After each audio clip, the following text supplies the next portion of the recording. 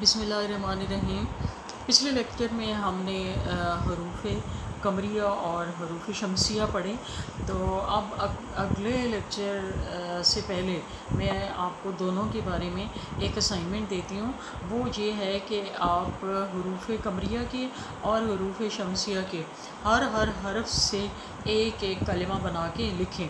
Like जैसे हरूफ कमरिया में मैंने अलिफ से हमज़ा से बनाया, अल अब अलबाब और इसी तरह हरूफ शमसिया में अतमरो असरवतो तो आपने एक एक हर्फ लिख के उसके आगे अपनी तरफ़ से एक एक कलिमा बनाना है। अब जब करोगे ना तो आपको इंटरेस्टिंग भी लगेगा और दूसरा ये है कि आपकी इसकी करने की प्रैक्टिस भी हो जाएगी। वो प्लीज़ आपने करके मुझे शेयर करना है नोटबुक पे। मीट करिएगा और बाकी भी काम मुझे आप लोगों का पहुँच रहा है, मैं इंशाल्लाह ताला चेक करती हूँ। जो लोग रहते हैं वो भी अपना काम जल्दी जल्दी करें। रूफ़ शमसिया के बाद आगे हमने पढ़ा था रूफ़ इल्ला। हरूफ इल्लत के बारे में मैंने आपको बताया था कि अरबी में हरूफ इल्लत तीन हैं, वाओ, हमज़ा और ये। वाओ, अलिफ और ये। और इल्लत का मतलब मैंने आपको बताया था कि इल्लत को उर्दू में कहते हैं इल्लत कहते हैं बीमारी को। ठीक है? तो अरबी में इनको हरूफ इला शायद इस वजह से कहते हैं, शायद कि जब हमें कोई तकलीफ़ होती है ना तो हम हाय कहते हैं। और जब अरबों को कोई तकलीफ़ होती है तो वो वाई कहते हैं। और वाई के स्पेलिंग यही है वाओ अलिफ और ये। अच्छा इनको रूफ़ इल्लत इस वजह से कहा जाता है, यानी जितने भी रूफ़ है ना अल्फ़ाबेटिक अल्फ़ाबेट्स ट्वेंटी एट उनमें वाओ, हमज़ा, ये, वाओ, अलिफ और ये क्या है हरूफ इल्लत है? तो इनको हरूफ इल्लत इस वजह से भी कहा जाता है, क्योंकि ये मुख्तलिफ़ हालतों में या तो बदल बदल जाते हैं, या फिर हजफ हो जाते हैं। इनको हजफ कर लिया जाता है। ठीक है? जैसे जैसे आप देखें आ, आपने कुरान करीम में बहुत पढ़ा होगा ये वर्ड काला। उसने कहा ये माजी है। अब जब मुदारे बनाएँगे तो ये काला कैसे हो जाएगा? ये कूल यानी अलिफ किसमें चेंज हो गया? वाओ में। फिर जब फेल अमर बना तो फेल अमर में। अब ये तो अलामत मुदारे है ना ये। इसको अगर हटाएँ तो बाकी काफ वाओ और लाम है। लेकिन फेल अमर बनाते हुए वाओ हजफ हो जाएगा। ये गिर जाता है, ठीक है? तो क्या बन जाएगा? कुल।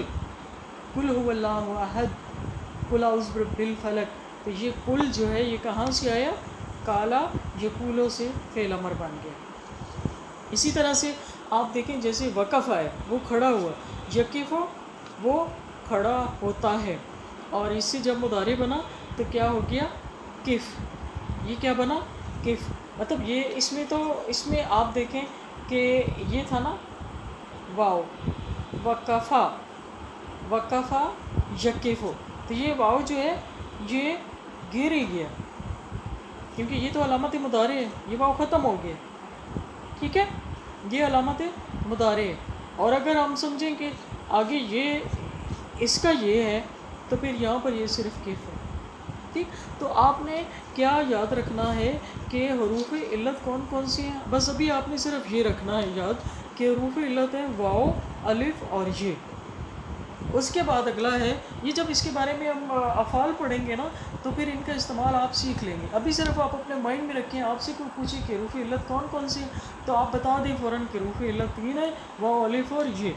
उसके बाद अगला है अलहरूफ सहिया हरूफ सहिया तो हरूफ सहिया वो हरूफ हैं जो वाओ अलिफ और ये के अलावा।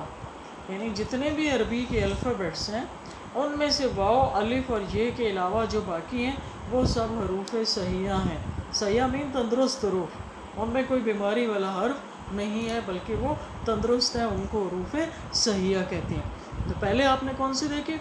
हरूफ कमरिया, फिर हरूफ शमसिया, फिर हरूफ इल्लत फिर हरूफ सहिया।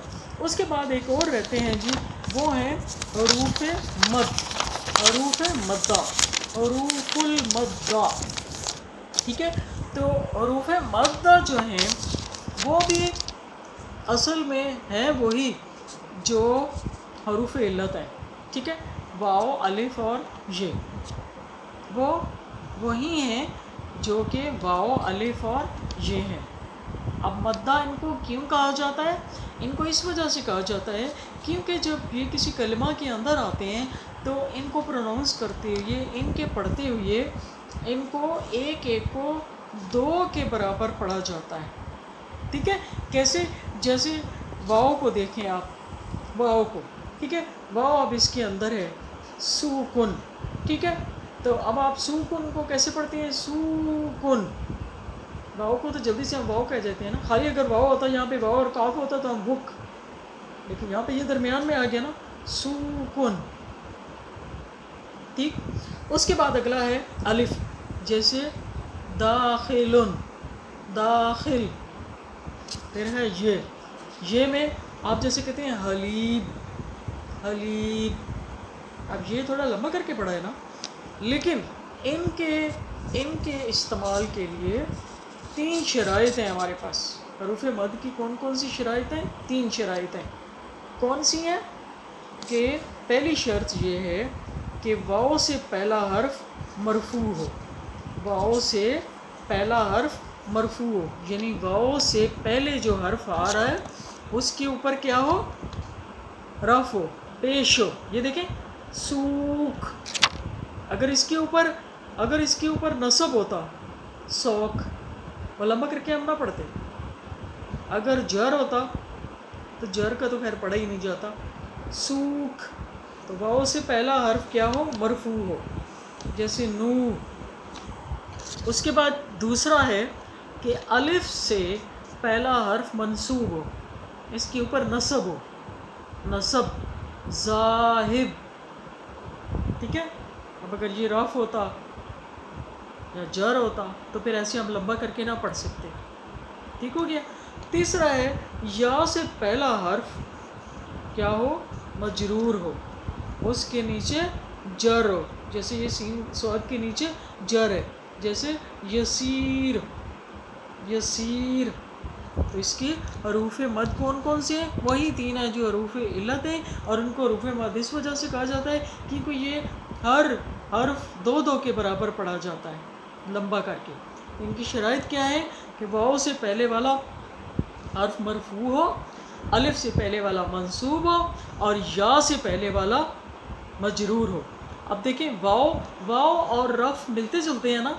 आप याद रखें शराइ को याद रखने के लिए आप ये याद रखें कि वाओ और पेश मिलते जुलते हैं तो वाओ से पहले हर पर रफ हो।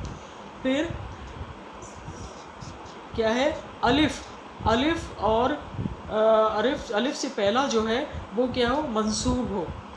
तो नसब ऊपर आती है, अलिफ भी ऊपर करके पढ़ते हैं। तो इस वजह से क्या है? दूसरी शर्त कि वो मंसूब हो, अलिफ से पहले वाला।